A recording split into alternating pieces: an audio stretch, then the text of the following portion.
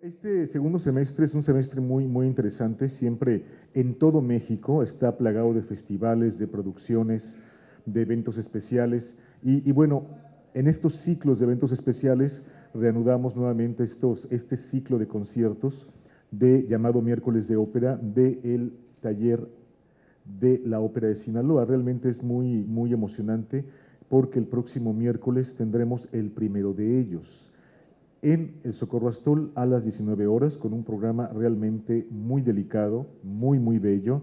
Va a haber voces que van a sonar por primera vez aquí en Culiacán, las nuevas adquisiciones de este taller, que son bastantes muchachos. Ahorita el maestro Carlos Serrano va, va a comentar. Veo caras ya conocidas del ciclo anterior, pero veo muchas caras nuevas y vamos a degustar estas voces nuevas.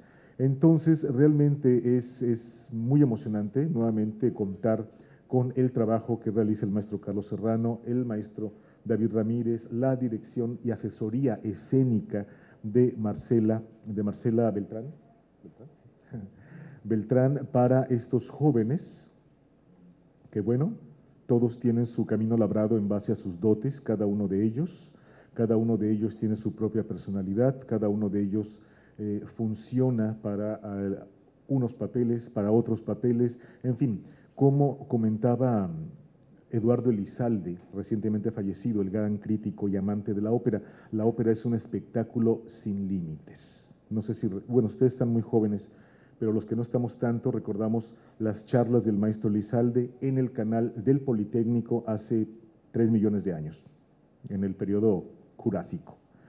Y el maestro Elizalde acaba de llegar, acaba de morir, pero eh, él catalogó así la ópera, el espectáculo sin límites. Y yo creo que tiene razón.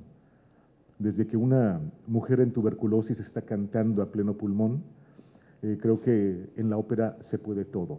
Eso y más. No existe espacio, no existe tiempo, existen historias, historias contadas, historias que aunque estén en otros idiomas las entendemos porque están hechas en base de las bases humanas, que son las mismas a través de la historia. El amor, el odio, la traición, eh, el misterio, eh, subida y caída de gobernantes, asesinatos, todo ha sido lo mismo con el paso del tiempo. El mundo no cambia, solo da vueltas y eso queda plasmado en todas las historias de las óperas que los compositores nos han legado. Por eso una ópera de Mozart como Don Giovanni, que se trata de un patán, de un ruin, eh, funciona también en la época de Mozart, anterior a Mozart o en esta época del siglo XXI. Entonces nos damos cuenta cómo realmente es un espectáculo atemporal, es decir, no existe el tiempo y sin límites.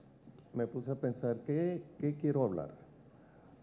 Eh, empezando por, por lo que ha sucedido desde hace dos años, y es que un 80% de los cantantes en el, en el taller ahora están internacionales, eh, por ejemplo, en una escuela muy especial que se llama Academy of Vocal Arts.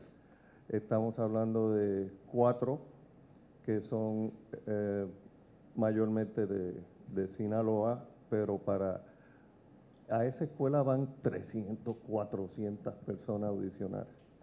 Y es una escuela que le dedica 70 mil dólares anuales a cada estudiante de educación.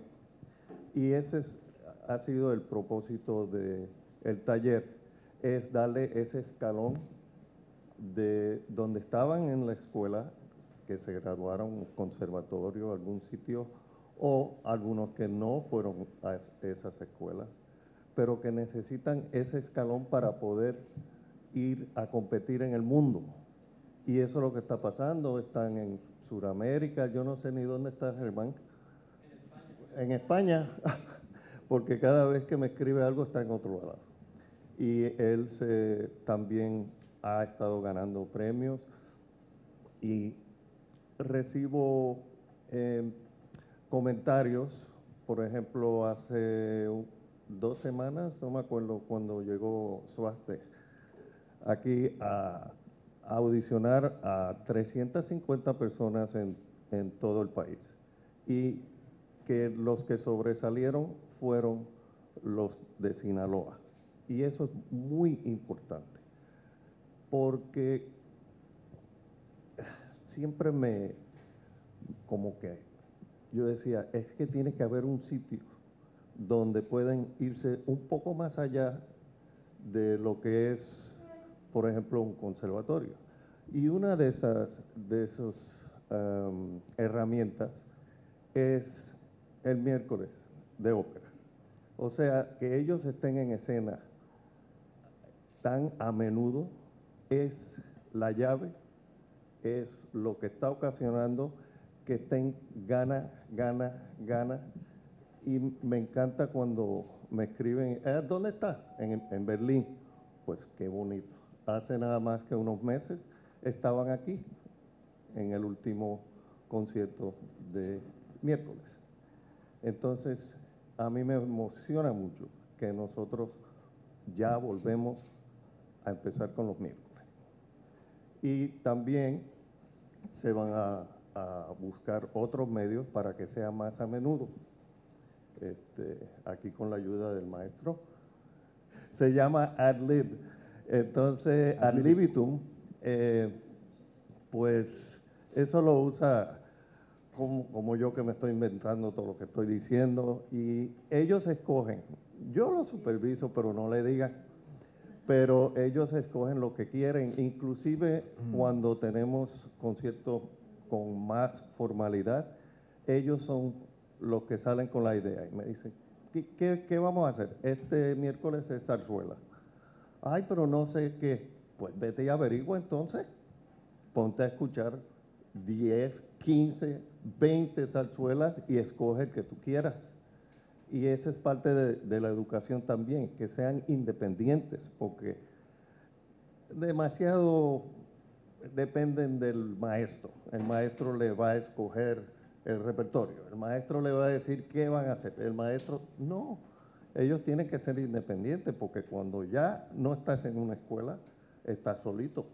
Entonces, si no aprendiste a escoger tu, tu repertorio, qué voy a cantar en la audición, todo este tipo de cosas, no, no, eso se desarrolla. Inclusive han habido en el pasado cosas muy cómicas. Por ejemplo, alguien, ¿qué digo? Cantando un área de zarzuela que, que de ninguna manera se, se aprende porque es un trabalengua. Es, uno es la mujer de los 15 a los 20 más dulce que un pirulí, de los 20 a los 30 borracha,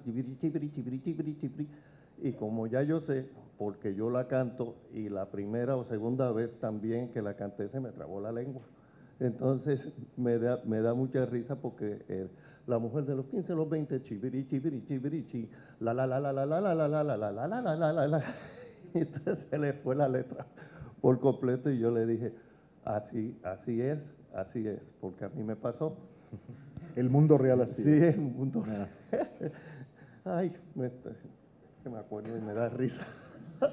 porque yo estaba ahí sentado y yo digo, ajá, esto es lo que está pasando. Claro que sí, la, la, la, la, la. Pero esas son las experiencias que, que pasan, este, o alguien que se le olvida entrar a la escena, alguien que no sé para dónde debe, alguien que se va para la izquierda en vez de la derecha. Es la, estar a menudo en, en escena es lo que los entrena para cuando salen a todos estos concursos y audiciones, ellos dicen, yo estoy. No, no, ya tienen su experiencia. ¿Y de dónde la sacaron? Aquí.